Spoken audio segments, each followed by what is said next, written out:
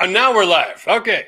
Well, good evening, good afternoon, good morning, depending on where you guys live. It's Jeff from Home Renovision here, and today we are talking. We're talking. Oh, it's kind of lousy, and we have to talk about some serious bad stuff. Disaster restoration, right? Uh, once again, Mother Nature has kicked a lot of people in the butt. We've had hurricanes in the last few weeks that have affected Eastern Canada and Florida. And generally speaking, my expertise is not boots on the ground post hurricane in the first 48 hours, right? I'm in the rebuilding business, but I do have a lot of experience dealing with catastrophic events. So we've had a flood here in Ottawa years ago where we had thousands of homes affected in the same 24 hours.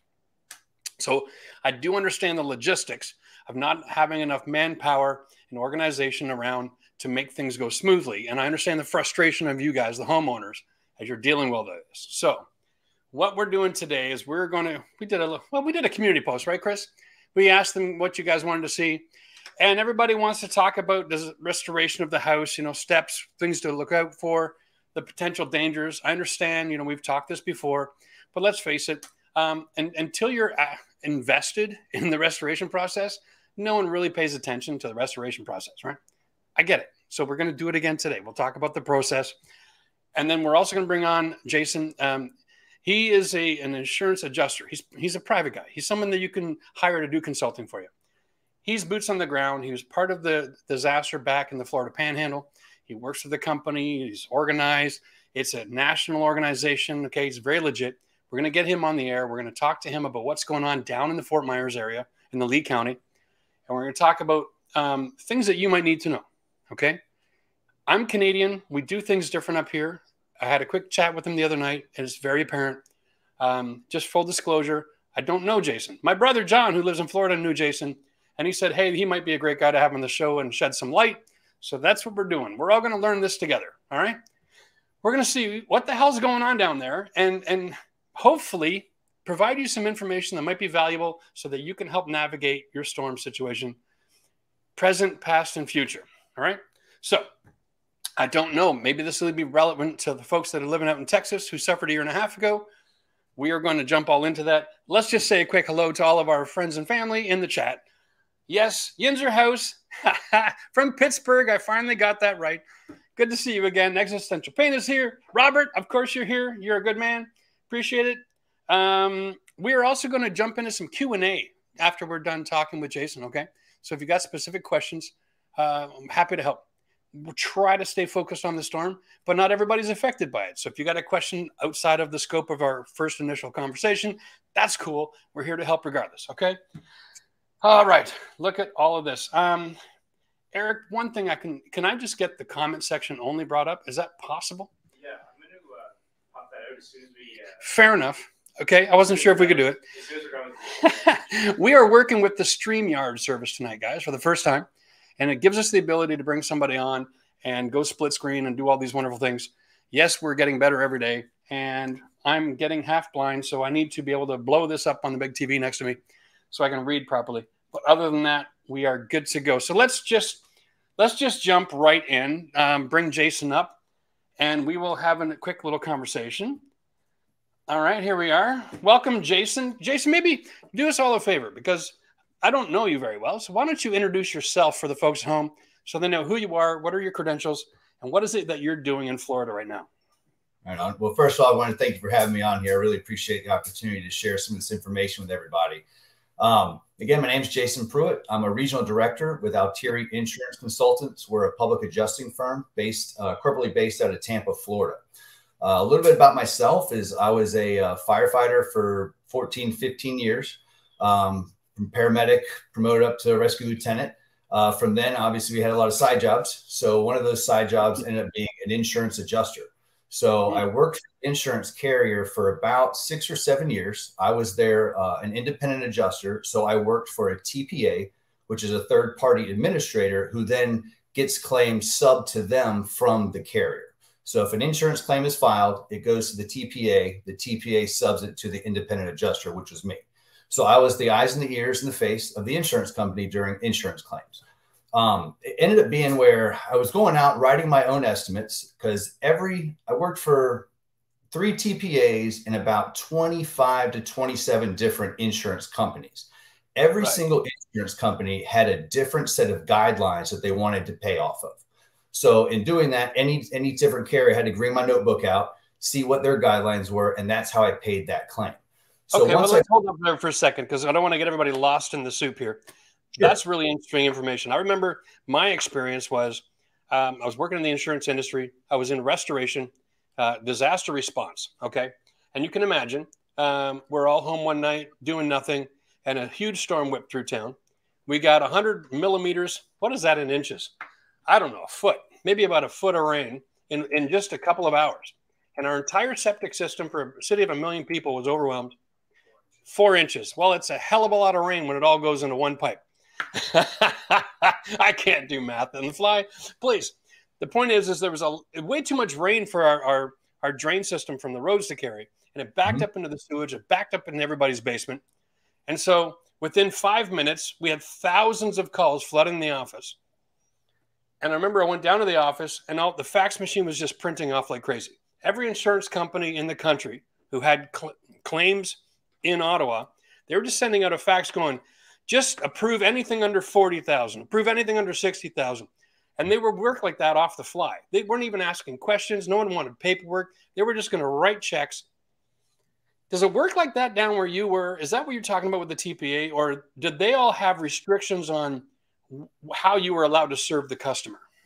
So where I worked, there were two types of adjusters. There was a desk, or sorry, there was a full adjust and there was a task adjust. So if you were a task adjuster, you were only writing an estimate and taking pictures and sending it to the examiner, and then they're the ones making the determination. I was on a full adjust, so I would have the the claim cradle to grave. I did the uh, negotiation with the mitigation company. I do the adjustment process, and I had an authority. Uh, my authority was very minimum. It was like 14,000. So anything over that, I had to go to the next level. So that's, Wow. that's kind okay. of So let's let's talk about that. Fourteen thousand bucks. That doesn't go very far, does it? No, no, it doesn't. Okay. So I'm just going to say, um, because we're going to have Canadian viewers here as well, Mhm. and and my experience in Canadian insurance is that when you have a disaster, you call the insurance company, the adjuster comes out. Their job is to help make you whole Sure. and to Yeah. manage your expectation about what the Right. process for rebuilding is. Generally, complete restoration. They work with a one-year guideline, and so most folks aren't excited about that. But in a lot of situations, having that year is necessary because of the shortage of trades, materials, management, getting the proper paperwork together, all that. Right? Yeah, it takes time. Is it is it a similar thing in the states? Do, uh, or, or do you does everybody have the opportunity to become whole, or does it depend on the policy? Break me down how your insurance system actually identifies who's a victim, who's a who's a top tier client. Give me a little bit of information about that. When I was on the insurance side, um, we didn't really necessarily have top tier clients. You had um, uh, claim claim dollar, I guess, tiers. So you know, if you had a claim that came in and the the information they gave, they're projecting it to be five to ten thousand. Well, they're going to send you know a certain group of people there that could handle it. If it's uh, ten thousand to twenty five thousand, they're going to send a different group based on your qualifications. If it was a large loss, hundred thousand dollars or more, they're going to send a different type of adjuster because they're going to have a little bit different authority. They're going to have more experience and they're going to be able to, to more properly adjust the claim than a newer guy who's able to handle those smaller losses. Okay, I get it. All right. So, it, it- okay, all right. Let's let's ask another question here. I want to I want to go through my list because I came a little prepared. Sure. not too prepared, but a little bit. Um, we have some people. They want to know what is the difference between wind damage, flooding. I'm sorry, wind damage and flooding in the eyes of insurance company. Okay. So let's talk about this because Fort Myers it was windy as all get out, and that's what caused the flooding. Right. Or do they blame the rain? And does every insurance policy cover both? How does that work down there? Okay, so how it works is you have flood and you have wind. So FEMA, which is the Federal Emergency Management Agency, they're the ones that insure you for your flood damage. Um, Okay. And the reason for that is because there's not really there- there's a big loss in flood when the domestic carriers are handling those things. So what Right. they did is FEMA kind of took it over. So now the FEMA is paying you uh, for for your flood claims. So essentially, if the water comes from the ground up, that's going to be considered flood. Now, if you're having water in your house from the top down, whether it be from the roof, a wind created opening, that's going to be your uh, typically roof damage with ensuing water damage because it's coming okay. from the top down. So, how do they define storm surge? Uh, storm surge is going to be flood because that's that's cut water coming in. It's coming from the ground, moving up gotcha. into the okay. That's going to be flood. All right, and so then now we've got to distinguish between FEMA and private insurance companies. Yes. Does FEMA have a mandate to make you whole, or do do people need an um, an advocate to deal with them as well? Um, it's always nice to have your own adjuster representing you, pointing out, you know, all the damages, uh, because you know it is in the policy. It's it's a condition for you to prove your claim to the insurance company. Now, with FEMA, uh, compared to the the private carriers, uh, FEMA typically will pay um, a, a, little bit more on their flood because they, they have very specific guidelines on how they pay. There's a manual that walks you through every step of it. So if you're a flood adjuster for FEMA, and you follow that manual and you hit all those things, you're going to pay out whatever that policy allows. Um, sometimes, again, depending on your on your skill set or your experience, uh, knowledge wise, um, sometimes some things are missed. Uh, but as long as you're able to prove that that is, you know, caused by flood and it is covered, they, they typically will, will pay that. Okay, you said something really interesting here. I want to back it up. You said according to what the policy allows. Yes. Is it possible for people to be underinsured? Uh, absolutely. Yes, I see that. I wouldn't say often, but I do see it. Because this is a this is I would I'm gonna not it's not a Canadian thing. When I had to get my I, I recently bought a church. We were going to convert it to a house, and I I paid two hundred and forty thousand dollars for it. I went to the insurance company. They wouldn't let me insure it for two hundred and forty because that's all the risk that I had. Right. They made me pay to insure the complete restoration of that in case of a fire. Mm-hmm. So I had to get a million dollars of coverage for that building. Sure. They wouldn't let me get insured otherwise. So how does it work down in the in, in the US? So I get a home in Fort Myers, it's a winter place, and I'm looking for insurance companies, and I've got multiple different policy options. Can I opt out of different kinds of coverage? Um, I don't know if you can opt out because uh, typically what happens, the, the average insurer calls the agent, says, Hey, okay. I need insurance. The agent's going to look up the property, try to put a value on it, and then say, okay, here's the value that we have on the appraisal that we found on, uh, you know, whatever system they use.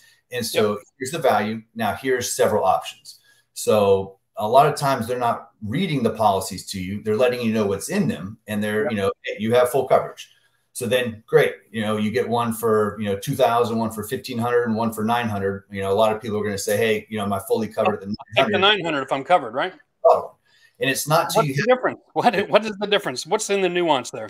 Right. Well, the thing is, is is they don't you don't know what's in that policy because sometimes the reason you have a nine hundred dollar policy is because you have a wind exclusion. You'll have a okay. cosmetic damage exclusion. Um, you're going to have different, you know, exclusions in there that you didn't know. A water damage. I said, you know, there's a, a big one with one of the carriers I work for.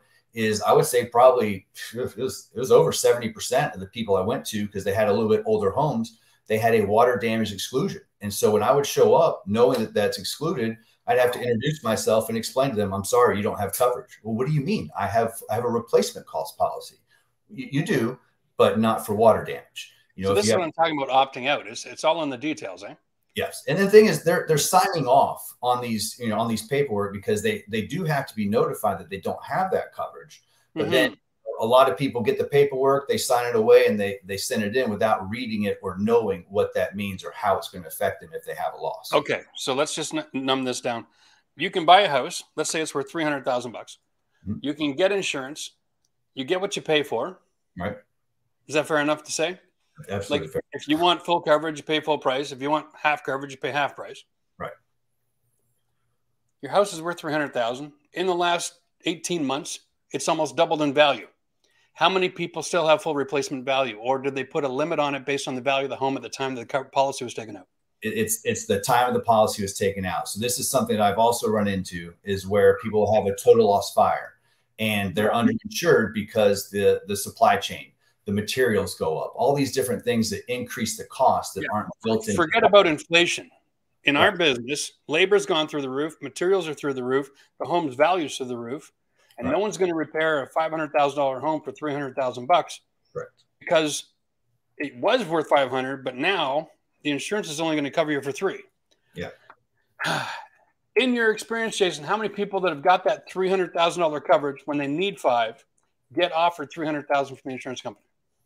Um, I, I don't see that often. Uh, where they, I, I don't honestly can't remember when I've seen them offer those policy limits because you still have to prove that damage that you have. And so, and again, you know, insurance being a business, you know, it's not a charity. They're sending their people out to document it, you know, on their side. So if mm-hmm. you, again, it's a condition of policy, you have to prove your claim to them. So if you're not able to prove what's covered, what those costs are, they're not going to, they're not going to pay it, you know, because again, they're using that policy. And again, it's nothing, nothing bad. It's a business, you know, and they're not trying to harm people. They're just using their people to use that policy for them where it's up to you to use that policy to prove it for yourself. Is, is it fair to say that insurance restoration in the U.S. is an adversarial system? Um, I mean, it's, it's hard to say. I mean, I don't know about adversarial. Going too far? Am I stepping on toes? I mean, I wouldn't say anything bad about it. I mean, it's, you know, again, it's a business. They insure people. Those policies are made to pay you. Um, you just have to know, again, how to use it and you have to know your coverages. And that's something I try to tell all my clients. A lot of people yeah. know is when you're getting a policy, you want to shop coverage first and then premium. You want to make sure that your home is valued correctly, not at market value. What does it take to replace? If you had a catastrophic loss, what's it going to cost to rebuild that home entirely? Get all okay. those coverages in there. And then once your coverages are set, now you start shopping premium. All right. I get it. So we're gonna we're gonna play nice. We're gonna call insurance companies. Um, God fearing men and women who are just trying to do their job. Sure. And in the midst of it, people are underinsured for a lot of different reasons. And when they do need to make a claim, they need to then become an advocate or understand the system or have the temperament and character and personality to be contentious and, and engage in the conflict of negotiating. Yes. Which we already know half people in the world don't like conflict and negotiating. Right. So there's 50% of the people in the world that are going to get walked all over right out of the gate. What what what? How many people on average contact an independent advocate to make sure that? Not enough. Right, because like when you buy a house, you get a lawyer. You got a real estate lawyer. Right. And what they do is an hour and a half, they process 400 pieces of paper, but they're smart enough to know if you're going to get screwed and they point it out. Mm-hmm. How many people get an advocate? Um, I, I don't really know the numbers. I know it's a very small percentage. Um, no one really knows that a public adjuster exists or that they even have that option. Um, you know, over the years, the insurance companies are great at marketing. You know, yeah. like a neighbor, State Farm is there. You know, all these different ads. You know, you're in good hands. All those things. Sure. So your entire life, you know, that's all you know. So when it happens, you know, you trust that the insurance company is going to take care of you. Uh, but again, they're marketing. It, it's a business, and they're out. You know, it, it's a for for profit. So, um, you know, not a lot of people know that they have that option. Just like you, you know, you go to court, you have an attorney representing you. If you, you're doing the taxes, you don't give out all your receipts to the IRS and let them do it. You know, just the same it. thing. And if you're in court, and and and you know, if if you're in court and and the other opposing counsel is going off on a rant, you don't know how to object. You just let it go. I mean, you're you're in a whole heap right. of trouble. Okay, sure. so fair enough. Um, uh, um, how many people do you think that are in that storm in Florida have no coverage at all? Have Is no that even allowed? Are you allowed to own um, a house without coverage? If, if you, I, I believe, uh, if you own it outright, you do not have to have insurance. Um, I have seen, I have seen a lot of people that, um, you know, that didn't have insurance. Um, I've had some people brag to me about how much money they've saved at not, you know, having to pay the premiums. And I had one guy, you know, a few years ago tell me, you know, hey, uh, he's like, I just saved three hundred thousand dollars in the last four years. It's like, well, this roof is one point four million dollars. What? Yep. It's like that's it's like you, you saved. look now, you had the catastrophe. You know, you, you now wish you would have had the insurance. Okay, and here's an interesting question um, because we talked about FEMA's role, but I have one more question for you that's really kind of interesting. So I, I buy my three hundred thousand dollar house. I put my ten percent down. I owe two seventy on a mortgage. My house became worth 500,000 a little while ago. So I leveraged the loan, right? And I got myself an RV and some play money and some new clothes. Life is good. Isn't this the American dream? My house got hit by a storm. I'm only insured for 300. Now I'm up 200 grand. How long do you have to restore your house to the original condition before the bank says, "Hey, I'm taking your house from you because it's not worth what's on paper"? I think and this this one I, would have to look up, but I, am pretty I sure. might be moving outside of your area of expertise here, but just paying your note, you know, you get to keep your house. It's when you default on that loan is, is when they're going to yeah. take it. Is you know, and also, um, you know, the mortgage holder has um, typically anything over five thousand dollars is going to go in your name and then also the lien holder's name. So that way, when the check comes in, you sign it, it goes to the mortgage company. They then hold that money and they will release it in draws as you're repairing that house. So they okay. want to make sure their, you know, their liabilities. So the insurance company isn't paying you direct; they're paying it to the lien holder. Correct. And then I mean, you go and say, "Here's my proof. I did this. Here's this invoice. Here's that invoice." They usually okay. do a 30 10 30 draw. Is what yeah, yeah, yeah, yeah. Um, got a question here from uh, someone in Pittsburgh. Um, since the burden of proof is on the homeowner, what can we do ahead of time to make things easier? Like take video, photos of every room, if you do uh, upgrades. Yes, I, I have. Um, you know, every once in a while, I go around taking videos and pictures of my house. Um, yeah. That way, in case you know, I, I, this never happens, but in case I have a fire, I want to make sure my contents are documented. I want to look at my, you know, my building or as far as the outside, what's damaged, what's not damaged, what's you know, kind of been there. That way, when they come out, I'm able to prove, hey, here's a photo, you know, or videos a month or two or six prior there's no damage outside. Now we're finding this these scuffs or these you know soot marks or these impact marks or whatever that you can prove to them. So videos and photos are absolutely they're they're wonderful tools uh, to be able to help prove your claim. Let's talk about that real quick because we didn't dif- differentiate between the structure and the contents. Mm-hmm. Um, what are policies like for content insurance down in the states? Is it as long as you can prove that you owned it, you're covered, or do they have maximum cash value for the policy owner and all that sort of thing attached? So typically I'm seeing whatever your coverage A is, you have 50% of that is your coverage C, which is contents. And how you differentiate content is, is I tell people take your house, flip it upside down. Whatever falls is going to be a content. Yeah. So not everything is able to be proven. Um, now, if you can save or keep your receipts as far as like your furniture, your your large ticket items, you're able to show that. But other things, um, I mean, when I was uh, I don't know, I, I had to get people sometimes to have a picture of their child eating a cake and there was a vacuum cleaner in the background. So that proved they own that vacuum cleaner and now it's, you know, it's burnt to a, you know, melted yep. down. You can't tell. So just got it. You know, little things like that. That's cool. I actually had an experience once. I went into someone's house and the basement had flooded during that storm. Right. And the basement was full of furniture, like full furniture. Yeah. And then we went upstairs and we found out they took all the living room furniture and put it in the basement into the flood just so they could get cash out on the furniture. And we're just like, ah, that doesn't work that way. Right. Anyway, um, guys, if you're at home, we're on the on the on live here with Jason. He's an insurance adjuster. He does private work. He helps people out when they get disaster and they got to deal with an insurance company who, um, you know, they're in business. So you might want to have someone who knows the business on your side. We're going to take questions for you in the chat real quick here. Let's just do this. Um, okay. Frank says, I just moved to Florida from Pennsylvania. Question is, I don't live in a flood zone, so how much flood slash wind coverage should I have? He has also got a lot of trees around me. Uh, hmm. How much flood? If you're not in a flood zone, I'm not in a flood zone, and I don't have flood coverage.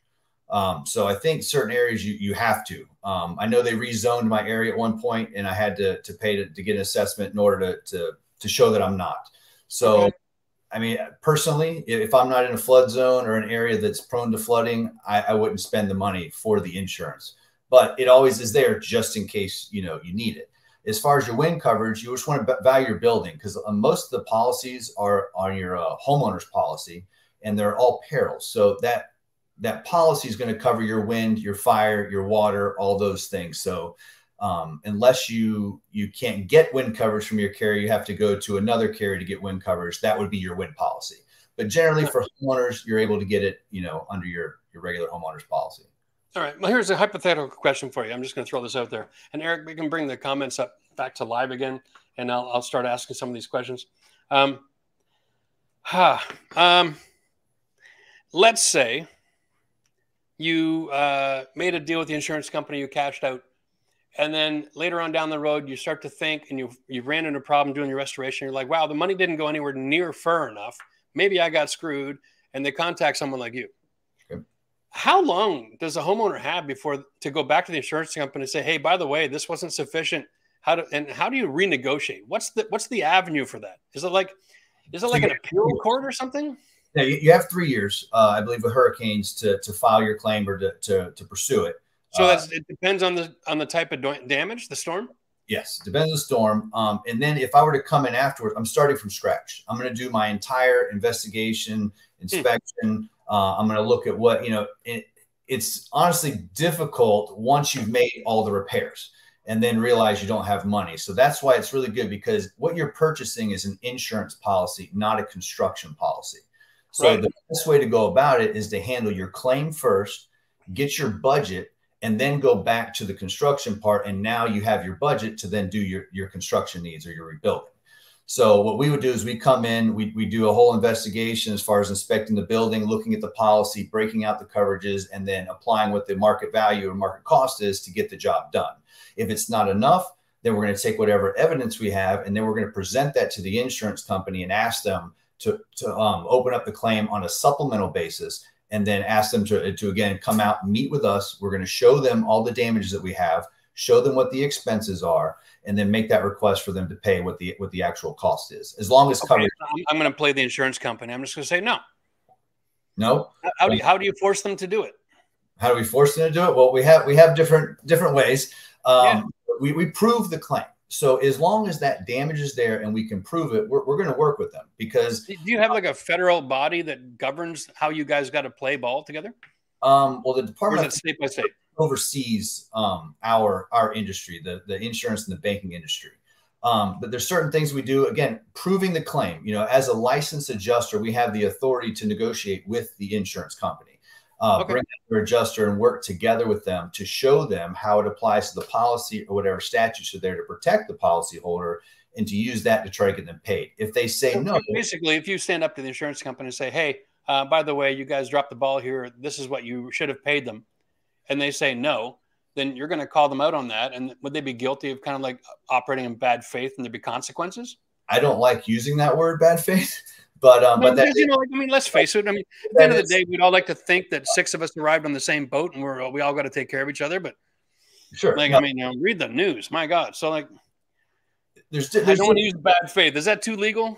I- I- it's we're really good at documenting that file. Okay, so there's Okay. Things in that policy and in the statutes that the insurance company has to abide by. So just like the policyholder has conditions they have to meet to have a covered loss, the Yeah. carrier has the same.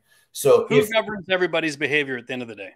right, yeah, and we all we all want to get along. We all want to get the claim settled because But, good. but if, if you're having an argument, who governs that claim? Who, who's the adjudicating body that would come up to a decision one way or another, push come to shove? Department of Financial Services is who oversees the the insurance. Okay. So they are accountable to somebody. Yes. Okay, that's good to know. So eh, you know, just because they're throwing up a, a wall of resistance, folks, doesn't mean that they're in charge of the end negotiation here.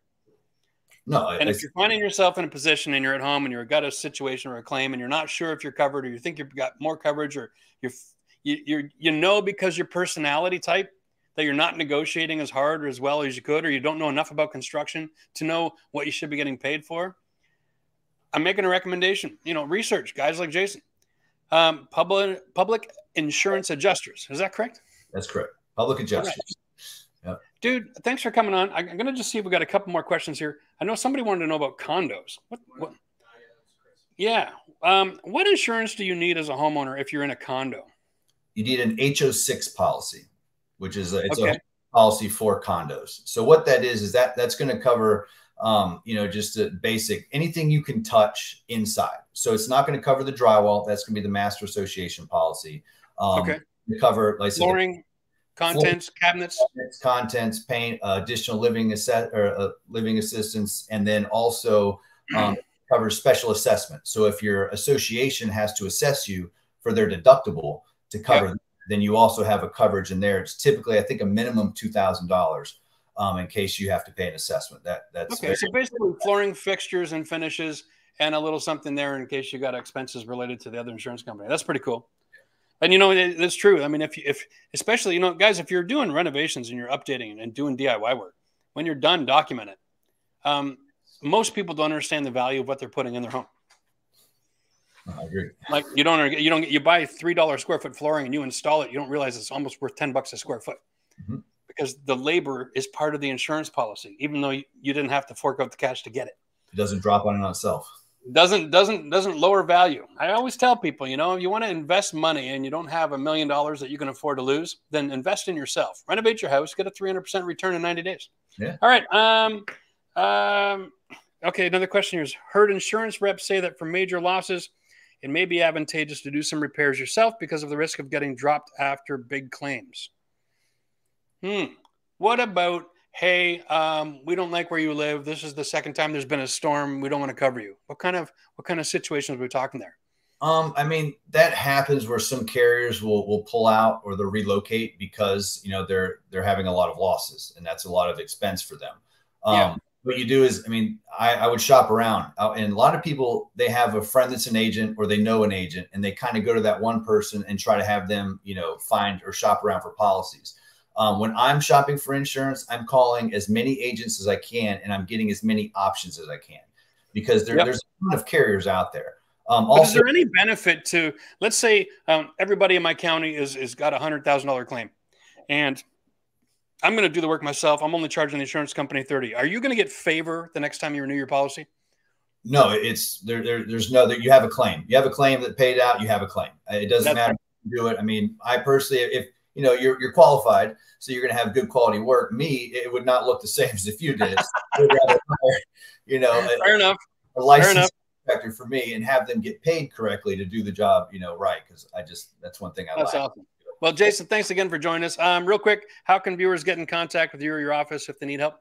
Uh, we're www.altieriinsuranceconsultants.com, and that's A L T I E R I insurance consultants plural.com, and also uh, Jason at altieriinsurance.com. You can email me. I respond, you know, pretty quickly uh, to those things. So feel free to reach out if you have any questions. Again, we're here to provide a service to people and help.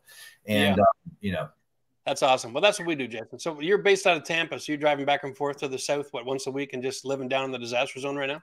I'm, I'm out of Ocala. Our corporate office in Tampa, and so I leave on Sunday night, and I typically drive back on Friday night. Wow. So I get I get the weekend spent with the family, and maybe catch a football game with them because the kids are all playing, and then I, I come right back and get to work.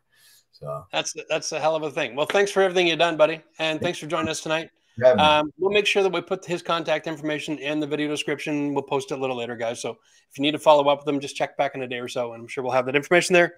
Jason, if I ever need you again, I am going to reach out because that was a great conversation. Right. Hopefully, um, we helped some people out tonight. Yeah, me too. All right. Cheers, buddy. Take care. All right. Thanks.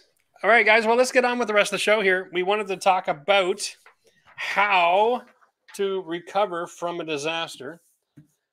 Oh, we have never done an interview before. My name is not Piers Morgan, and I'm just curious how that went.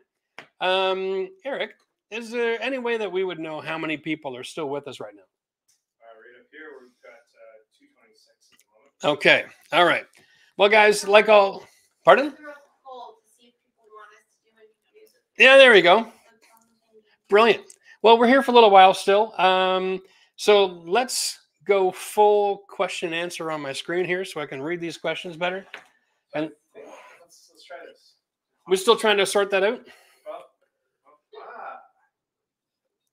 I don't know if there's a pop out chat option. Yeah, interesting, eh? All right. Well, we're still learning how to use our new StreamYard, guys. Can you can you see these? I can see them. It's just I really gotta like go like this, right? It's not my good side. ah, I think we're gonna be okay. Okay, no worries. Well, listen, I know not every live show is for everybody, but for people who are struggling with this mess, it is uh, quite a hell of a thing. Um, and by the way, if you're in Texas and you made a deal with your insurance company, you feel like you might have got under undervalued in your claim, uh, reach out to somebody like that and find out if there's anything they can do for you. It seems like the timeline on disasters and how long you've got to respond and go back and renegotiate is based on the disaster itself. So I don't know. That's going to be a question I should have asked. But if it's three years for everybody out in Texas, you still got 18 months to go back and have a second look at your policy. Um, how's this for size? Because I can actually, I can read it. it's not popped out. But it's That's even better. Yeah, we can do that. All right. Well, let's just go do Q and A for our members, guys. Let's open this up. If you got insurance questions, if you got disaster restoration questions, if you got a how do I get rid of mold in my house question, there was one question earlier about cat urine on the OSB. I know you'd think that is not that common, but bloody hell it is.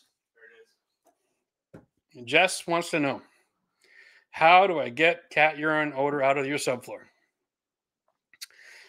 Carpet and LVP. Okay. Um, man, I wish I could remember the name of the product, Jess.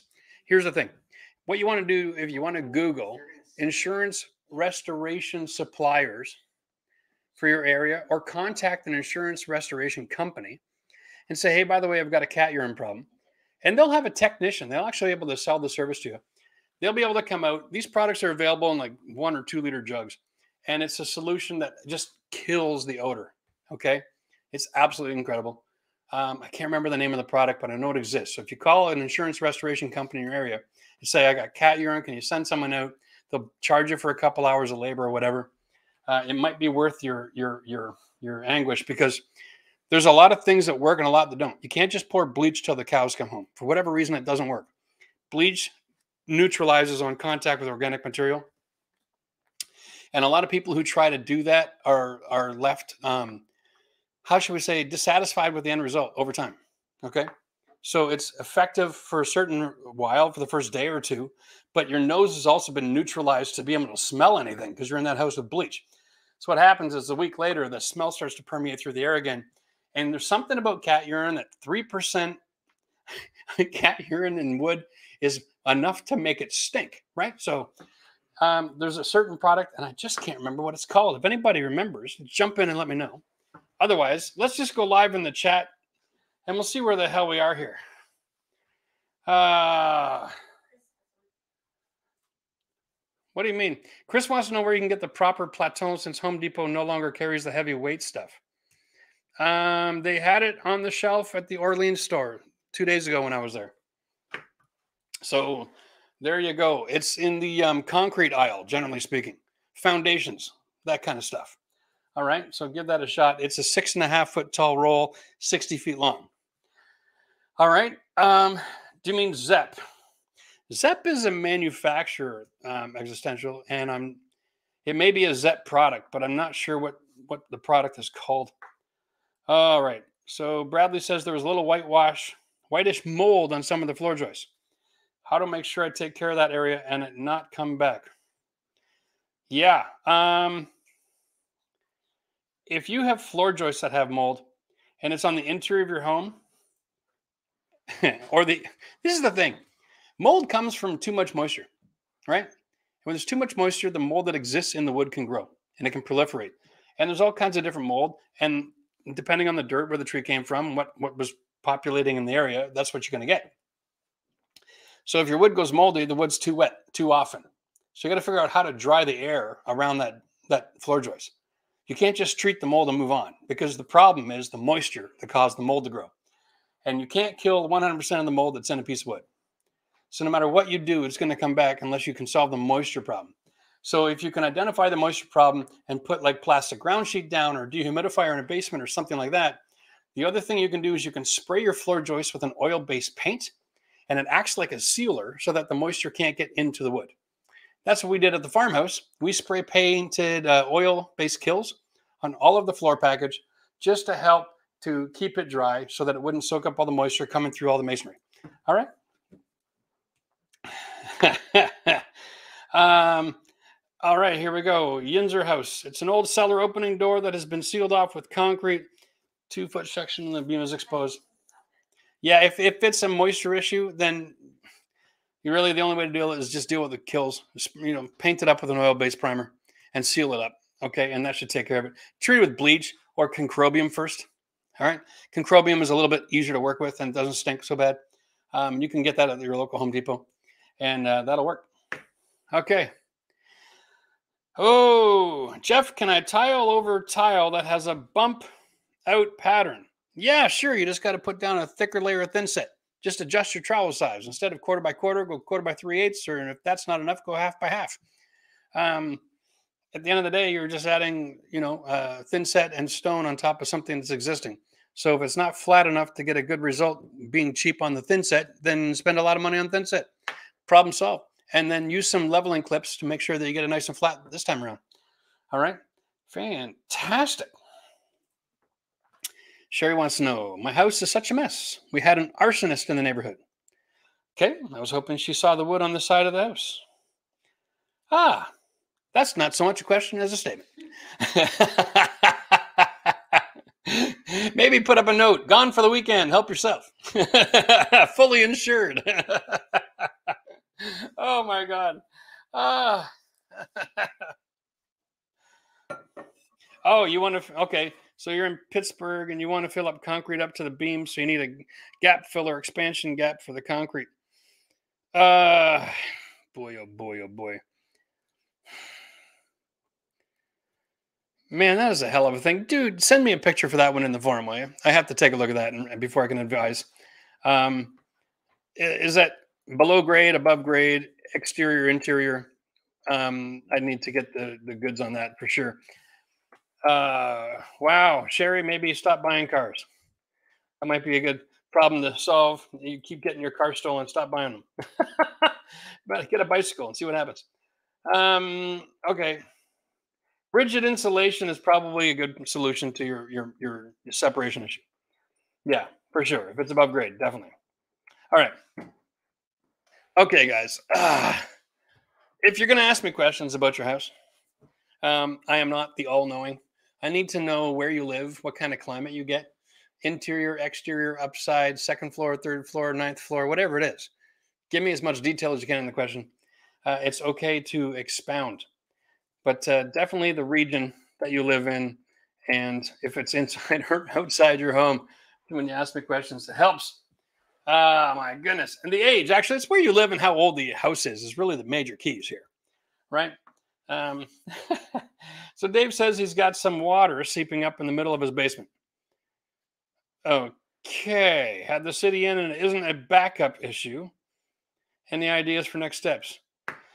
Gotta love how the city comes out and says, Yep, not my problem. Good luck, buddy. All right, Dave. There's such a thing called the water table. If you watch enough movies, you'll see somebody dig a hole to make a well. And they dig down far enough that the water starts to come up in the hole. That's the water table. And it's it's every every region has its own water table. And it's the level of the water has saturated the soil beneath the surface some houses are built in a place where the water table is pretty shallow. And depending on regional construction, you can affect how the water table manipulates and moves and grows and lowers. And you can find yourself in a situation where you need a sump pump. Not every house that needs a sump pump got one because it hasn't been part of the building code for a long, long, long, long time. It's actually actually a pretty um, new addition to the building code, relatively speaking. So if you have an older house and you've got water in the middle of your floor, it's because the water has is, is raised up as high as the footing and maybe even higher. And so it's coming in through the sides and it's coming through the cracks in the floor itself. You need to dig a hole beneath your floor, put in a pump, and drain the excess water away. And that should solve that problem. If not, put in two or 10 or move. At the end of the day, if you can't keep the water out of your basement, you're in a whole heap of trouble.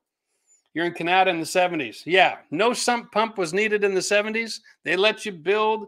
And trust me, there is a lot of water out there in Canada. That's just a western suburb of Ottawa. So you're not alone. Um, man, I almost want to say it. A lot of Canada is swamp and they would throw some pebbles in the swamp and say, There's a foundation, build a house. That's a bit of a dramatic uh, exaggeration there, but you get the idea. You build enough houses in a swamp, it pushes the water table up because of the weight of all that construction and all that displacement. Okay. And so um, you'll see when you drive around Canada, they've got large valleys and water retaining areas and everything all over the place. Really dramatic. That's not normal. Okay, you don't see that everywhere you go. You don't go down to Brampton and see massive construction to manage water. It's because you they built the entire city about three inches above a water table. So understand that you're at risk, and if you're starting to have problems now, you just need a sump pump.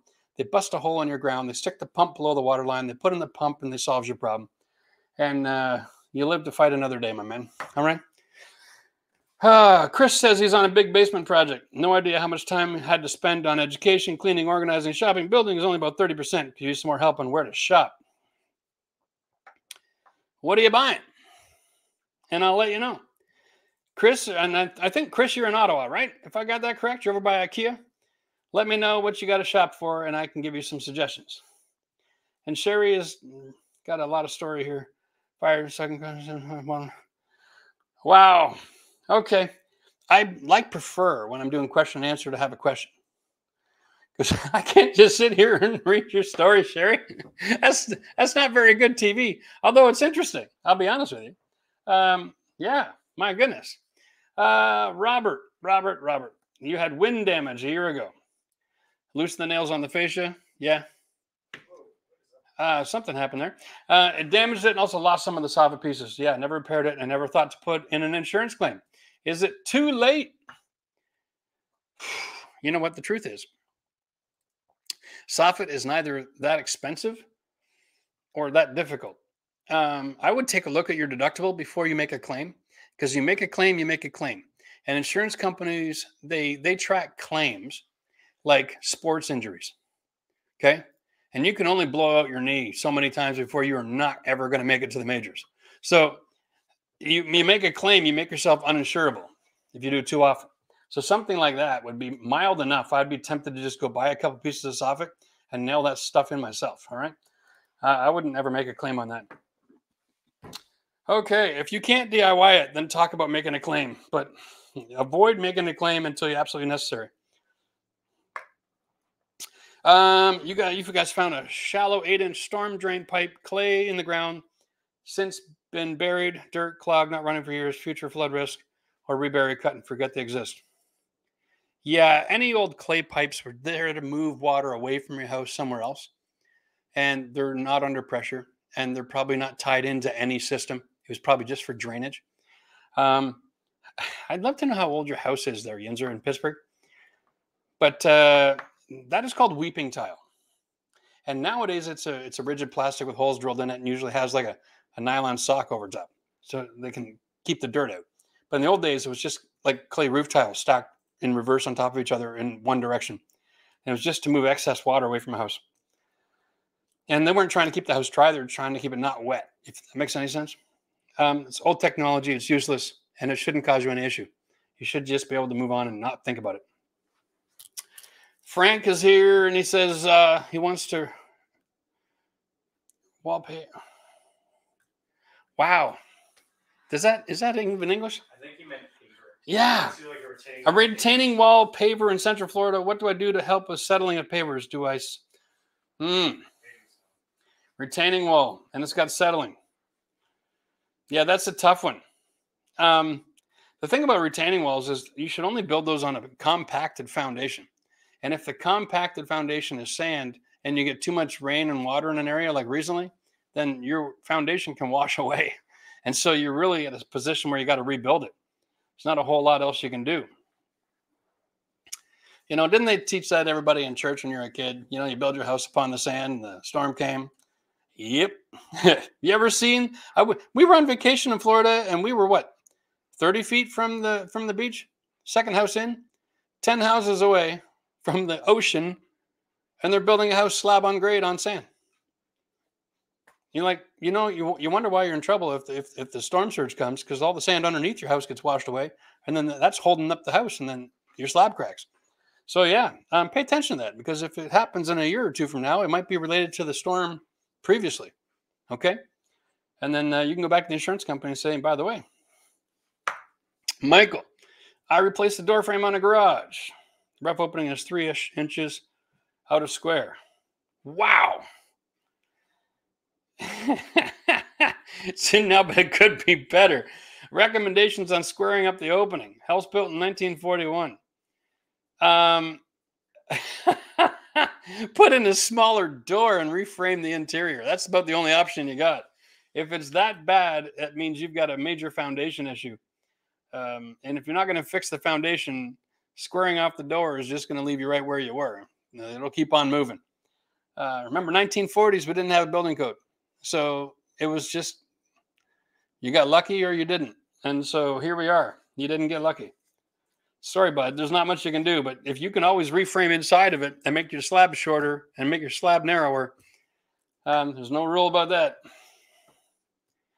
Okay, so Sherry's saying if you can't get help from anyone, contractors, lawyers, insurance, there's a lot of damage. Would it be better to give up and sell as is? Never. Don't ever give up and sell that is because they're going to give you 50 cents on the dollar of your current damage condition. All right. So the best option is contact one of these private insurance adjusters and let them fight for you to get you top dollar. All right. And then you can make the decision if you want to sell as is, but get paid from the insurance company first. Um, wow. And realize that you're not going to get the money directly. You're going to get the money in order to rebuild. And I think that's the biggest issue we've got to take away from this. If they're only going to pay the, the, the title holder so that you can rebuild, and then you got to do work and then submit the claim to recover the money that you've spent, you might not get all the work done before you get there. So consider DIY on your repairs.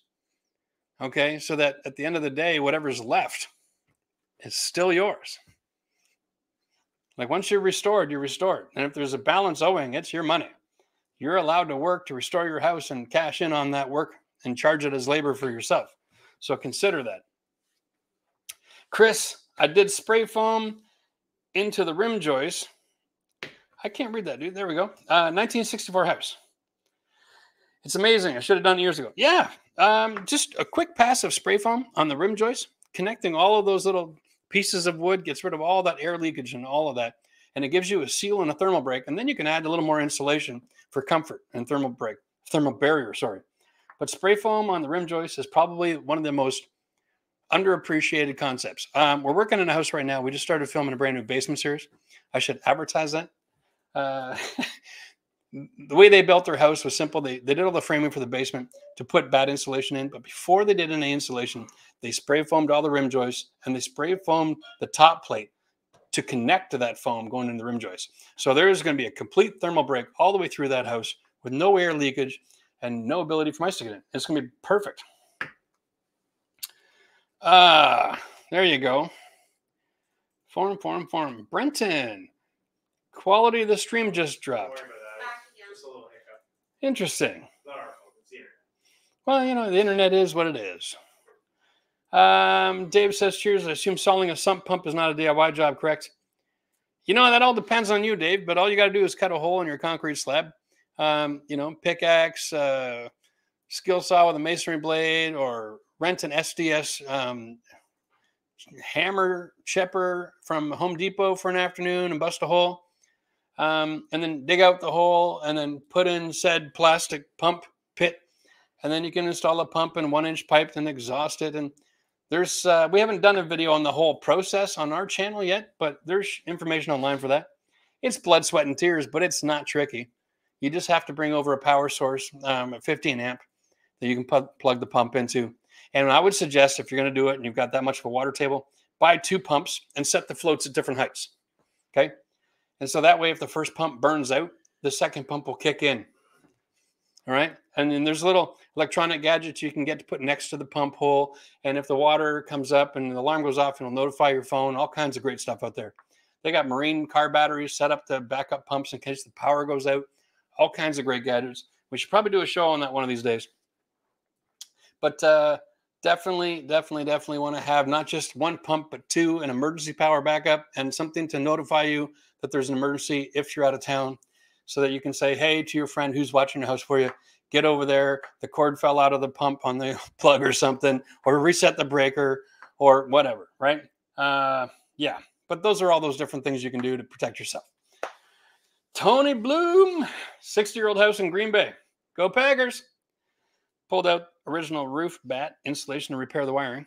Batts still have good form to them, but the facing paper edges used to staple them up. Oh, yeah. Yeah, they're a little destroyed. Okay. Um, well, here's the deal, Tony. If you took out the insulation with some care and the batt is still good, understand that the paper was just there as part of an installation technique. It was probably treated to act sort of like a vapor barrier, right? But you're in a region that doesn't really need a vapor barrier. You can just stick the batt back in and grab some of that tuck tape and tape the paper back to the joist. The paper liner on that insulation, just tape it back in place and then close it up as soon as possible, right? That'll work. I mean, you could always put all the insulation and then strap the ceiling and then add your drywall so the, the batts don't fall out. That's another way to do it. Okay. Um, so don't be too concerned about it. That paper doesn't provide you that much protection. Uh, it- it's not real building science, it's just building convenience. All right. Cheers. How beneficial is it to caulk around fixtures, lights, outlet switches, etc., regarding energy saving? Um, it's only helpful if you stop using your front door. and I say that for the following reason. Um, listen, the, it's not about caulking; it's about air sealing. Okay, so if you really want to seal up your your your plugs and your switches so that you're not getting drafts because of insulation, then take the cover off, remove the fixture all the way out, and then put spray foam not in the electrical box, but through the holes in the back of the electrical box and foam up the, the cavity around it. Most insulation that's installed around electrical boxes is done lazy, quick, and stupid. Okay, it's not inspected, it's not it's not done with integrity, and so then you have actually a void behind the box where there's no insulation, so you get a cold draft. So if you just shoot foam through the back of your electrical plugs and just let it foam up, that's going to give you a much better seal and eliminate the draft. Adding caulking to the front, it's you're solving 5% of that one particular problem. Okay, but if you really want to seal up your house, spray foam is a solution. Hi Sandy. No, you're not late at all, darling. We uh we just got started a little earlier today is all. No big thing. Uh now we got oh, I don't want to talk about California. It's amazing. You know, it's like can, here's an analogy of California. The ship's going down, the rats are jumping ship, and the captain is worried about how pretty his little flag is on top of the pole. Really getting tired of it. Doesn't make no damn sense. Doesn't make no damn sense. Like everything is so bass backwards out there, it's not even funny. I, I, I run my channel based on being practical. Um, they should look that word up in the dictionary and maybe start applying some practical solutions to real problems. It's nuts. They they don't have any labor, they don't have any money, they don't have any electricity, they don't have any power, they don't have any gas, but you're not allowed to plug in your car, blah blah blah blah blah. No one wants to live there. Taxes are outrageous. Figure it out, folks. It's a beautiful state. Be a shame if nobody wanted to hang out. Um, the box stores sell little foam squares you can put between your wall and your faceplates too. Yeah, that's more effective than caulking, but spray foam is more effective than that. Um, yeah. Here's the thing if you've got a bad draft at your plug and you don't foam in behind it, you do have an airspace, which means in the winter you get ice there. And then when it thaws, you get water. And if that happens over and over and over again, your wood goes rotten and you get moldy walls. So it's worth insulating that cavity. If you have a draft that's noticeable enough, you have a space worth insulating. Okay? That's just a good rule. Ah. You have a shed that can only be three feet deep because it doesn't need a permit. Can I just center the studs or will it will it throw something off? No, don't worry about centering the studs. It's just a shed. You're just supporting your facade. So whatever sticks you need, to, if you could do three sticks for every eight foot sheet, it'd be fine. So don't worry about that. All right. Just try to keep it simple. Uh, three foot shed doesn't have to support much weight anyway. So don't even worry about it. Um, I don't know. If there's no questions for a second, why don't you tell us a little bit about your basement project you're working on? Yeah. Maybe There you go. Been a while since we shifted gears into the basement. Oh, right. Well, and listen, let's just tell you. Um, you know, we were working on the church for a while. We're getting our um, occupancy permit down there. Uh, we're all finished the work, and that's great. We're not sure what we're going to do with it yet. We're going to head back down south for the winter again and do some projects down there. However, I'm not going to sell the church quite yet. I'm holding out hope that we'll be able to actually move forward with that project next year, that things will normalize. So, in the meantime, uh, we reached out to a friend of ours because we really, really, really wanted to do a basement series. And it's it's good friends of the family. Like, uh, my God, it's like my third daughter. you know, Sam went to high school with my daughter Christina, and they went to university together. And we turned their two bedroom um, apartment into a three bedroom so that everybody could afford to live there. And now she's getting married, and her and her new man have built a new house. They got hit by COVID. His business was affected dramatically by it, so they couldn't finish the downstairs. And so uh, we had an opportunity to go in there, and, and they're giving us carte blanche to do whatever we want to do down there with a couple of guidelines, of course. You know, it's their house for God's sake. But we're going to do an amazing series. We're going to teach you guys. They're doing an awesome theater room. Okay, they're they're doing subfloor system. They're doing hardwood floors in a basement. Yeah, we're going to do some built-in TV wall cabinetry. We're doing bulkheads. We're doing all kinds of sound mitigation. They've got bedrooms down there. We're doing soundproofing for the bedrooms. It's going to be an amazing series. And so we're just started filming that a week ago. And um, this will be good. No, I haven't seen chocolate lately, Sandy. Sorry about that. Yeah, good question. Where are you, chocolate? Um, here's the deal. Once we're done that, my God, we're we're gonna be rolling. Wha- We have something else coming up first, so don't we? What is it? Is it two weeks? In terms of release. Yeah. Like this weekend, we have a huge A to Z coming out, right? Yeah. Next week, we start a new shed series. This is going to blow your mind. We we want to do a shed series to celebrate 10 million views. Uh, we're almost at 12. We we filmed this a while ago and we put it in the queue. We got it edited. Um, this is a new shed. It's ground level. It's integrated into a deck. Okay, and it's post and beam construction. It's really really simple construction, and it it it makes all kinds of things possible. Okay, so what we did with them is they we gave them a, a garden center and a place to put their lawnmower and a custom awning with the flip up bar. Yeah, it's kind of stupid. Um, but it gives you the idea. Whatever you can imagine when you're working with post frame, you can make happen. So the post frame shed is coming up in two weeks. You're not going to want to miss that. Uh, Max filmed that with me in a beautiful 4K in the gorgeous summertime. Of course, whenever I build a shed, I have to do it in the hottest days possible. Don't ask me why. wow, wow, wow, wow, wow. Okay. Uh, yeah. So make sure that you guys are um, watching out for that. It's going to be great. Hmm. Oh. Oh, well, it's six o'clock. What do we got going on, guys? Is it quiet tonight? Yeah. Nothing wrong with it. It's okay. Pardon? I don't know. Maybe there's an election. Maybe, maybe Ukraine just got nuked or something, and everybody's watching the news. I have no idea. That's not funny, but it's possible. It's a crazy world we live in, eh? Oh my goodness. Okay. Well, like as always, we're here to answer questions. So if you got some questions, fire off. Otherwise, I'm gonna go home early because I'm working my butt off and I'm a little tired. I'm not gonna apologize if you don't mind. If you've got an unfinished basement, you're looking to, you're thinking, I want to, I want to modify this. I want to finish. it, I want to make it nice. Yeah, yeah. What's the first thing you think? of? If I have an unfinished basement and I want to make it nice, what's the first thing I think of? You're looking at these. You've got the studs exposed. You're looking at a concrete floor. Okay, the first thing I want to know is is it waterproofed from the outside? If it's not waterproof, I'm not investing a lot of money in it. Because the, the the likelihood that it's going to get destroyed is huge. Right? So why invest? So waterproof from the outside is uh, modern waterproofing. Yes. Homes, It's or- either it's either you dig a trench and you put a membrane goes right to your weeping tile, or you dig a trench inside and you put in a French drain and then you put a vapor barrier waterproofing system on the inside of your masonry. But you cannot allow moisture from outside the house in that basement, or you can't build anything.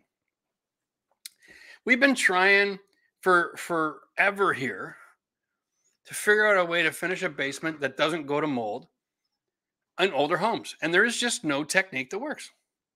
They've tried They've tried every bloody idea possible. At the end of the day, water wins. So if you're not going to waterproof, whatever you do in your basement is temporary.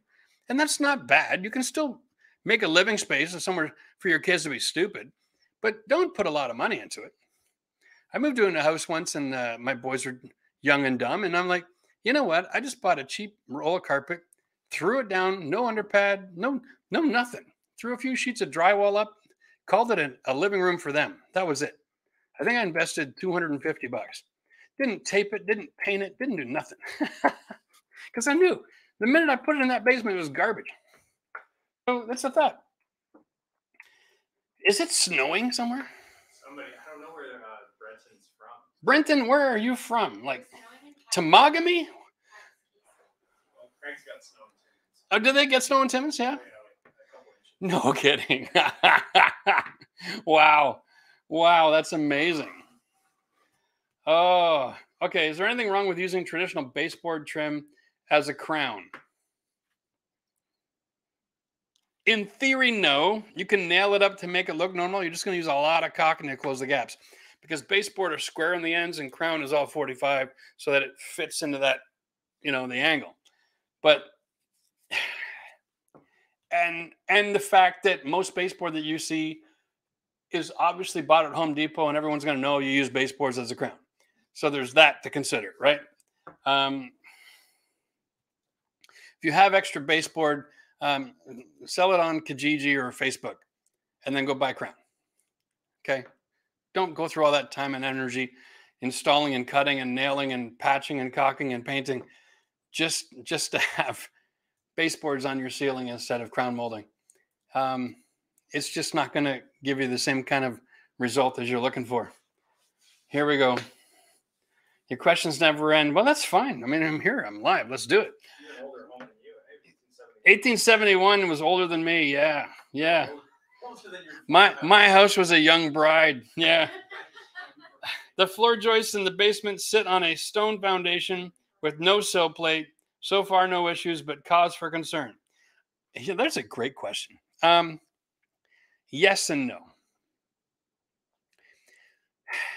The old growth trees that they usually use as the floorboards in those houses were old growth, like they're super old trees, right? Like, and so generally speaking, they um, they manage that transfer of moisture from the stone into the atmosphere a lot better. Okay, you're going to find that after the first hundred years, which is like 1971, 1970, whatever, you probably need to put in a couple of telescopic posts to shorten the span that they're carrying in order to keep things uh, like functioning properly. Um, they don't last forever, right? So if you're investing heavily and you're going to make it so it's another 50 years of beautiful, I would say you're probably at that precipice where investing in some new floor joists might not be a bad idea. It just, they start to rot and, and they decay and they don't last forever in that condition. So um, I'm going to go on record as saying if you have a house from 1871 and you got you got a you got you got floor package sitting directly on the stone, jacking up your floor package. That's actually a brilliant idea. Thank you, Jeff. That was a brilliant idea. Let me show you. Can we uh, zoom out here just a little bit? While we got him on here and he's got all these questions, I'm going to just draw a pretty little picture. Here's your stone wall. Okay. and here's your floor joist. Right? This is actually not the floor joist. The floor joist goes to here. Okay. Traditionally, what they did is they put an eight by eight beam on the stone wall in the exterior, and they built the house on that beam. And this floor joist has all the floorboards coming all the way across and stop right here. And these two are disconnected from each other. All right. They're sitting on a stone wall, which in most cases is an interior wall and an exterior wall built right next to each other with a cavity. Right? It's crazy construction. But what you have is an exterior of a house and then the interior of the house built inside on a different foundation. So it's a double foundation. So if this is sitting right on the stone, you put in a telepost, okay, and you jack it up until you can put a vapor barrier in between, some sort of a sill plates to stop the moisture transfer from the stone into the wood. And that'll stop the aging process. You can't do that with the exterior, unfortunately. Okay. And that's where your biggest problem lies. Right. So sooner or later, these houses are all going to become worth nothing. right. So the, the more you can keep it dry, the better. So keep your ground level down. Make sure you get all your water diverting away from your house and try to keep it all as dry as humanly possible. But that's how you can make sure you can manage the moisture transfer. And that's all you can do. Give it a jack, slide something in, and set it back down. And you can work through the main floor and you can get that fixed. All right. All right. You know, we just don't know how long houses last made of wood construction like that in this climate because we've only been here for a couple hundred years. it's not like we're in ancient Rome and we know if the ruins are going to still be standing, right? Oh my goodness. There's a reason that those houses are cheaper than brand new ones. Ah, Sounds like Chris is uh, building. He's he's building a secondary suite. It looks like, yeah. So Renford, did Chris get back to me with what he was looking to build, what materials he needed, where to shop? No worries. Um, Mr. Gork, can you elaborate on spray foaming in the window casing? I have an 1890s home in New England, and I plan on sale at my windows. I don't know what just happened. With, with sealing the windows this weekend. Um, yeah, sure, we'll elaborate. I'm going to pull out the old pen again, but I'll trust me. I'll just make this work on camera. I can see myself in the picture. You don't have to worry about it. Um, so you got a frame and you got a window. Okay, well, let's just, that looks like a window. And the frame is always bigger than the window. Okay, and there's usually shims right here off the edge of the frame because that's where the structural load is for the window. And this is air gap, air gap, and they'll throw in a couple of screws on each side, and the rest of it is an air gap.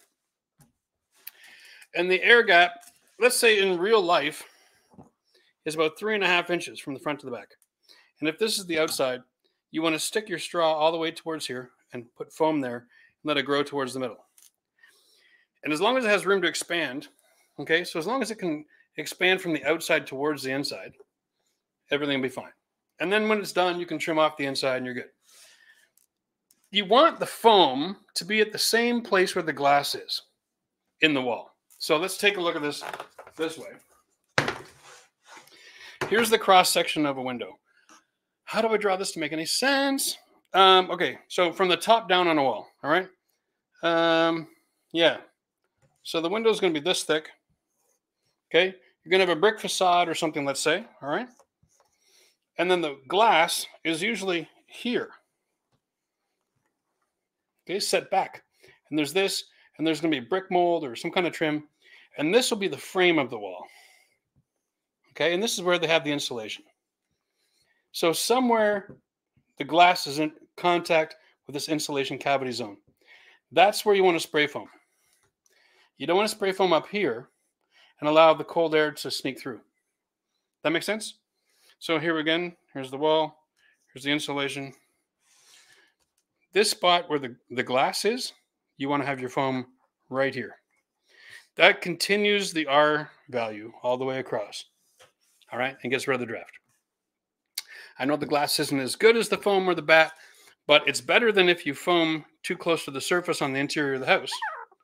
And it looks good from the inside. It looks like it's insulated, but the wind can actually blow right through. All right, and that's the goal. Hopefully that helped. All right. Ah. Details in Chris's basement. The basement is a huge empty room now. Brought it back to the cement and started over. Ceiling and pot lights are done. Fixing the stairs this week. Found $20 solid oak stair treads. Cool. Light sconces and electrical. Okay. Just an update. I asked him in the chat. I was like, what- Gotcha. What are you working on? in the basement? Would I recommend LVL beam or steel beam above a garage door? Garage roof is sagging and the beam needs to be replaced. Um, unless your garage door is extremely massive, LVL is a lot easier to work with because you can laminate them on site during construction and they can definitely go 16 feet. So, not a concern, right? Um, yeah, okay, steel might be better, but then you need to have 20 friends or a crane or a rental machine or something else to facilitate the installation. Either way, you're dealing with structure. So I, I'm going to trust that you have structural drawings because I'm not an engineer. Um, but that's how I would do it. If I was you and I wasn't getting an engineer, I'd use LVLs because two people can lift those into place and screw them in and they're strong enough. The trick is LVLs come in all kinds of shapes and sizes depending on the structural load bearing and what the engineer calls for. So if you don't know how big the LVL should be, just because you bought one doesn't mean it's fit for the job. So that's that's an issue. So get some help and make sure you're putting in the right product. Um, wow, you don't want to get a you don't want to get a Chevy if you need a Cadillac. You know what I'm saying? Any tips for doing repairs under vinyl siding during the winter? Well, don't do it during the winter. like, yeah. Um, if it's there right now, it's too late to touch it. It's getting too cold. Except maybe on Saturday, it's gonna be nice and warm. But if you got to do repairs on vinyl uh, and, and you got to wait the winter out, then just grab some tuck tape and put some plastic on your siding and tape it up and treat it like a damaged roof. Okay, it's part of your water diversion system, and uh, just protect what's behind it until the spring. Oh, Sherry wants to know. Speaking of spray foam, the gun that I said to buy, if I leave it on the can, cleaned it up, and forgot to use it within 30 days, is there a way to get it to work again? That's a great question. Um, generally, no. It's a professional tool, and it kind of works really well because it's used every day, and it's cleaned intermittently. So if you have one of the guns and you're done your project, just unscrew the can and then use the cleaner, and then put the cleaner on the can and clean the gun out and then that's how you store it for use the next time. Um, I'm guilty of the same thing. I've gone through at least a half a dozen of those guns in the last two years. Uh, you know, you get busy and you leave it in a corner and you forget and you go, ah, I started buying the plastic ones instead of the metal ones just to save myself a few bucks because I kept forgetting. But listen, yeah, it's at the end of the day, um, anything that's that's been exposed to air will cure. So, you know, that's just how it works. Um, sorry about that. I got a leak in the drain line in my master bath. Is there some way to seal it up without opening up anything until we redo the bathroom? Northern Virginia house. Got a leak in the drain without opening anything. I don't know, Martin. If you got access to underneath, you might be able to try a spray and seal. You know, there's like spray seal products that are out there. If you got a small leak, that might get you through. Drain water isn't usually under that much pressure. So if you applied some of that, that might get away with it. But if you don't have access to it and opening up means opening drywall, then there's nothing really you can do from the inside. Um, unless your unless your leak is coming from the drain fitting and the threads of the tub itself. Then you can loosen it up a little bit, throw in a bit of silicone, tighten it all down, and see if that fixes it for you. That's about the only option you got. All right. Good luck with that. Uh, Robert wants to know when insulating rim joists, I've seen spray foam, rigid foam, or batt videos. Leaving money aside, any recommendation which is best for mold, fire, unforeseen future issues, etc. Okay, the best system in the planet for doing a rim joist is to spray foam it, all right, and then cover it in drywall and put a at least a first coat of drywall tape on the framing so that you have a 20 minute burn time when there's a fire. And the reason you only want 20 minutes is I don't give a damn who you are. If you're in that house after 20 minutes that a fire starts, you're dead anyway. So don't worry about your rim joist. Like, just face it. Spray foam, yeah, if it gets in contact with fire, it's incredibly poisonous, but so is your bloody couch. So, you know, think about it. Um, if you have a fire, get the hell out of your house.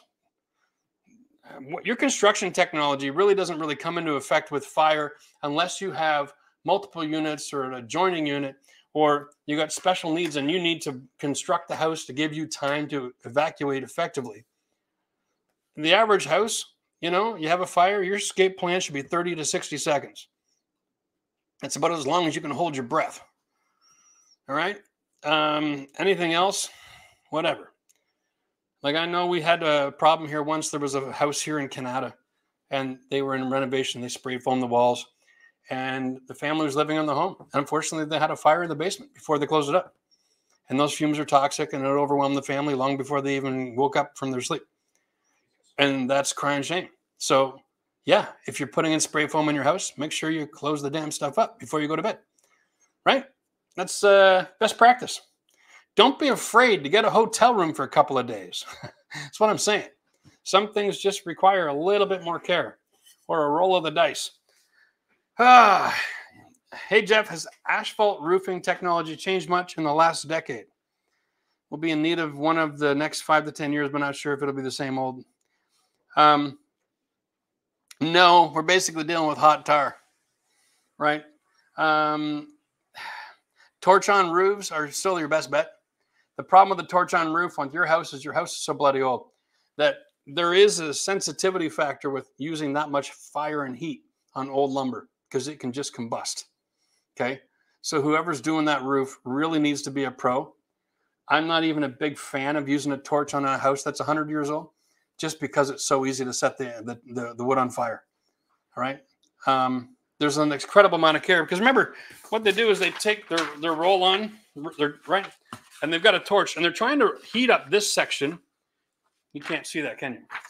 Let's try this. They get it rolled like this.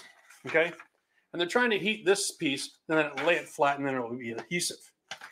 But if all you do is get a little lazy and you get a little torch here, and you get one little gap in the plank or something, and the fire goes in there, instantly the attic catches, and you're done. Your whole house burns to the ground over somebody not being 100% efficient at their job. I don't like to take risks like that because I don't expect anybody to be 100% efficient at their job. and so I'm not going to roll the dice on a torch on roof on a 100 year old home. I don't care. Um, maybe take a look at using metal. Or if it's a flat roof, yeah, I would I would call the guys that use the buckets and pour it on instead. Man, that's a conversation to have with a roofer. Ah, wow. Um, my newborn still won't sleep. Will flex tape work? no, but a little bit of pablum is the secret. When I was young, uh, our doctor was 80 years old when I was young, which means he's like a thousand years old. And he gave us advice when our babies wouldn't sleep. He said, Listen, I know you aren't giving them food yet, but if you throw a little bit of pablum in with your formula and then you give that to them, guaranteed you'll at least get four hours, mom. And if you're sane, your baby's sane because when mom don't sleep, nobody's happy. And so we followed his advice. And uh, all the newer doctors are, oh, pablum, I don't know about that. Doesn't sound like a good idea. You know, but well, doc, you tell her that at three o'clock in the morning when she's got you by the throat. I love pablum. I love pablum. Dear God, you know, yeah, uh, yeah. Wow. Why aren't interior walls insulated? Wouldn't this be beneficial for increasing R value and or energy efficiency of the home? No. There is no value in insulating interior walls for energy efficiency. It's like, why don't you have a sweater wrapped around your heart inside your body? Because you're insulating the exterior, right? That's what houses do. We have a thermal envelope. It's the outside. You can you can insulate all the walls inside the house you want. We have one furnace and ductwork going to every room. So insulating each room from each other does no good at doing anything for you. The only benefit is in sound management. And the reason we don't have rules for insulating interior walls for sound management, well, let's just face it, nobody gave a rip because all you ever did in your house was eat and sleep. Right? When they wrote the building code, we didn't have gaming systems, we didn't have computers, we didn't have home offices. Kids stayed out until their parents dragged them home to go to bed. Right?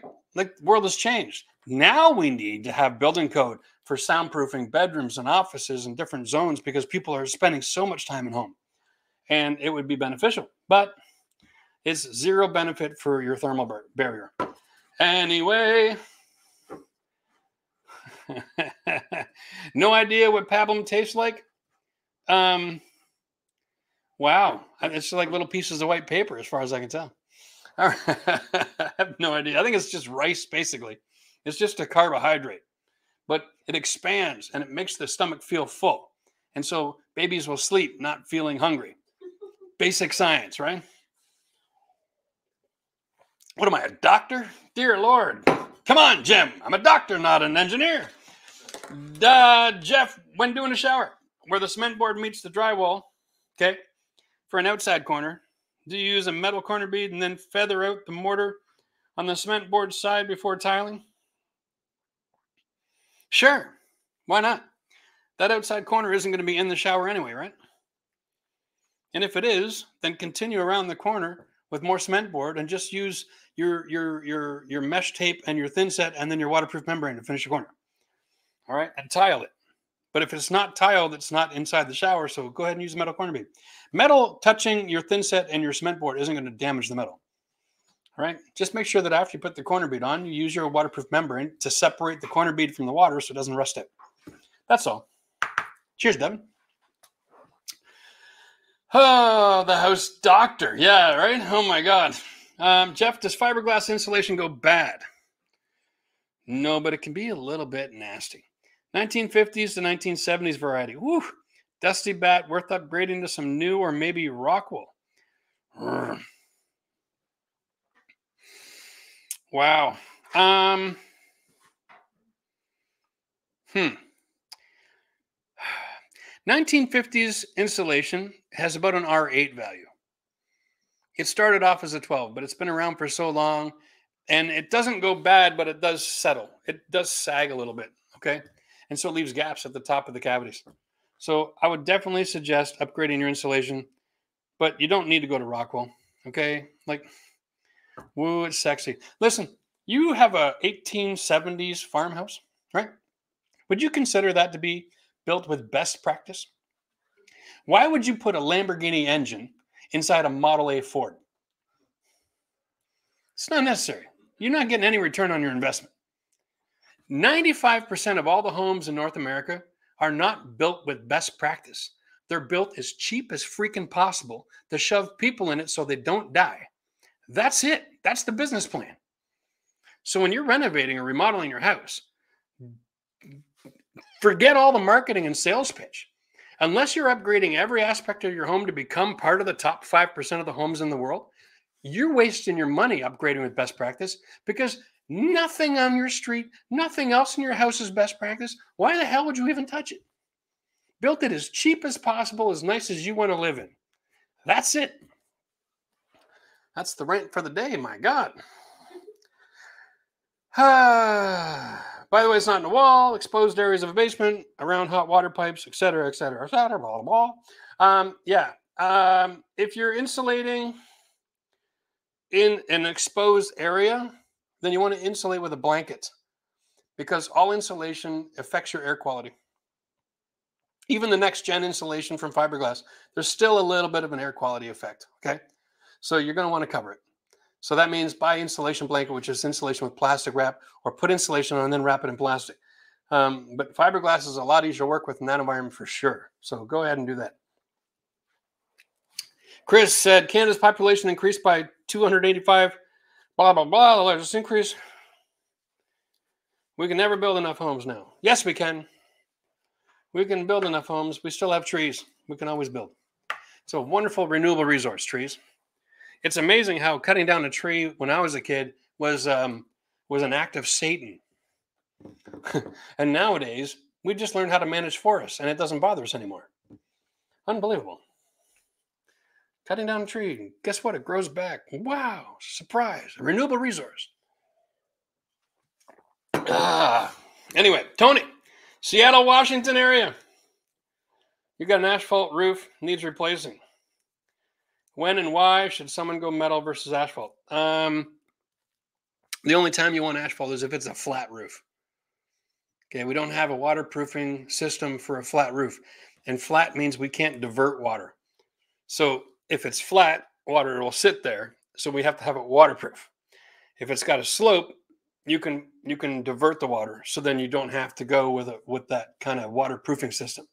You can go with the diversion system depending where you live and if you get snow load and ice and all that other stuff, it compounds the the the the, the, formula. But Seattle, Washington, you don't really get snow load. So um, if it's not flat, you don't need to go with uh, with a torch. Um, talk to different roofing people, get different opinions. Because what you'll find is like um, if you talk to the flat roof guy, he'll say the flat roof's the best answer. If you talk to the metal roof guy, the metal roof's the best answer. If you talk to an asphalt roof guy, that's the best answer. Um, so you got to combine all that information and then sort through all of the sales pitch to figure out what's best for you. All right. There's no one answer for every situation. So I can't just sit here and say, well, this is the best thing you should do. Yeah, it doesn't work that way. All right. Not flat roof. Sorry. Well, then you got options, buddy. All right. You definitely got options. Do you ever work as a roofing contractor Did I ever work as a roofing contractor? or as a, as a roofer at all in your time? No, I never did any roofing. Um, I did emergency repairs on roofs, so I know which one's leaking why. Never did roofing for a living. I was never that crazy. That that's a that's a job, dude. Like, man, roofing is for people that like the sun. Like my son Matt, he can do it. Matt could roof. He loves the heat. He can stand out there buck naked in the sunshine for 45 hours a day and it wouldn't bother him at all. Not me. you have to have the low back of like a Oh yeah, you know, and and like skin that just doesn't care about the sunshine. You don't have to. Some people don't mind being greasy, soaking wet, and sweat. Uh, that's not me. I'm I'm too much of a princess for that. Um, is there a trade in the most dire need of labor right now, i.e., where I should really hone my DIY skills so I don't pay out the rear end? That's a really interesting question. Uh, what trade would give you the biggest return on investment? Huh. Wow. All of them. There's no just just start with where you're competent and then go from there. There's really time is more expensive than material right now. So think about what you want to do. You can have an electrician come in and he can rewire a whole house in 2 days. You can have a plumber come in and he can plumb the whole house in 2 days. You can have a painter come in and it's going to take him a week to paint the house. You do the math. They're all going to charge 150 bucks an hour. So that's the great answer right there. Uh, right. I wish I'd done my house myself. Yes, Andy. Uh, we love Matt too. We'll tell him hello. Uh, for sure. You're going to see glimpses of him in the basement. He's uh, he's helping me. He's part of our production team now, and he still does some manual labor, so helps keep me feeling young. So you're going to see him on camera once in a while. In the shed too. He is in the shed too. Yeah. Nice. Lots more Matt coming for all you Matt fans. Yeah, keep that occasional big cloud. Matty T. Yeah. Oh, oh. Man, oh man, oh man. Wow, look at this. We're coming to the end of the questions. Yeah, we're, people need to ask, or else I need to prompt you for something. Yeah, right, eh? Well, paint seems like an easy trade to get into. Yeah. It doesn't seem insanely hard. No, painting costs you about $40 to get into it. You need a brush and a roller. And if you're gonna paint, you might as well pick up drywall because then you can do two in one. Well, you know, I mean, if you're going to be a painter, yeah. I mean, it's the easiest way to make money right now, right? Because the whole world is selling you on a design, on a concept, right? And everybody wants you to paint your house to change the color because it's going to be so emotionally beneficial. I'm like, well, if you don't know how to paint, that's a hell of an expensive way to get an emotional benefit. I mean, I put that money to a therapist if you need that help that bad. I mean, my God. Grossly undercharging for my paint skills. You might be. Yeah, existential pain. Here's the question: When's the last time somebody saw your estimate and they said, "No, thanks, that's a little bit out of my league"? Because if uh, you're not turning away 50% of your people, time to raise your prices. That's just the that's just the market. Sorry, I know it's harsh. Everybody, there's there's this incredible existential debate with labor. Guys that work for a living with their hands, half of them are like of the mindset of I don't overcharge, right? I want them to be my client forever. I want them to call me the next time. And I'm not a jerk of a human. I don't need to get rich off you. I just want to pay my bills and live my life and charge you know, a decent wage. The other side of that argument is, hey, sometimes people don't call you at all because life sucks. And so when life sucks and no one's calling you, you got to compensate that with when times are great, you need to you need to cash in. You know, so if you've got a, uh volatile marketplace, which nowadays everything is volatile, when people are willing to pay you top dollar, take their top dollar. They're only going to pay it if they got it, and if they got it, it's not going to hurt them. So feel free to go take. it. Oh. All right, all right. Never heard that advice. Price yourself to turn away 50% of yeah, you know what? if you're if you're closing 100% of your deals you're way too way too affordable if you're turning away 20% and you still can't you can't take on more work and you're still overrun you're still too affordable you're still too affordable right what would you rather work 100 hours a week for 10 bucks an hour or work 50 hours a week for 20 bucks an hour or work 40 hours a week for $50 an hour.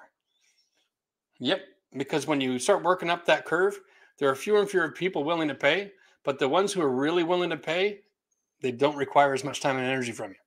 So it's a thought. Chris White, cheers to Boston. Do you expect lumber prices to decrease in the near term? No, Chris, I don't. Um, let, let me adjust that by saying this. Maybe another five or 10%. But the lumber prices have come down on the supply chain, but the demand is way down on the homeowner right now because of inflation. So they're sitting on old inventory that they bought way overpriced. So they're not lowering the prices until they clear it all out. But yes, lumber is actually cheaper on the open market than what you see at the retail store. So it should go down a little bit more, but it's going to take time. And until people start buying the lumber, get rid of the old inventory that they over over purchased on, they're not going to put the new stuff on the shelf with the new price. So we might it, it might be into the new year before we see lumber really come down. Wouldn't be a big surprise. It's unfortunate, but yeah, don't be surprised if it's another three months. All right. I mean, as long as the news is scaring the hell out of everybody with 10% inflation, no, you know, people don't have an appetite to go invest in renovations. But uh, who knows? This might actually be one of the best times to take a look at doing a project, especially if you need trades, because a lot of people are being scared away right now. So, good time to wiggle in. Call up the electrician and say, "Hey, by the way, how, what's your what's your uh, what's your what's your fall looking like? You got some space there for me?" You know, and if they start to sweat because they're not getting booked as much, maybe the prices will start coming down too. All righty. Um, yeah. There you go. All right. Well, guys, listen, it's 20 to 7. Um, I'm ready to call it. I don't need to be here for another 20 minutes just for the hell of it. I know it's romantic. We usually do a two hour show, but uh, if, we're all busy and we don't have any questions, I'm going to head out. Um, Devin says, Your neighbor down here in Toronto. Last question. My customer custom shower niche. I'm adding a split in the middle. Yep. Horizontal. Good. Two shelves. What would you recommend to hold the middle tile? Silicone with a slight tilt? Nah. No, no, no, no. The best thing you can do is contact Schluter, um, your local Schluter dealer. They make pre-made shelves that have drainage designs cut into them with a CNC machine, and you slide it right into the grout line of the tile. All right, done. And now if you bought one of those Schluter boxes and they've got that thick piece, and you got to tile it all up, tile it all up, and make sure each shelf has got a one degree slope. That's all. Put those in last. Tile everything, put those in last, and then silicone the edges. You'll be fine. All right. Well, there we go. Uh, right? Yeah, the dad responses. Oh, gotta love it. Well, guys, thanks. Listen, uh, it's been it's been a blast. Thanks for joining us tonight. Um, hopefully, we helped some people out, and we will see you in the next live show. And we will be in touch with you in community posts to discuss what that might look like and when that might look like, and all that kind of good stuff. So, cheers till next time, and I will see you in a few weeks. Hmm.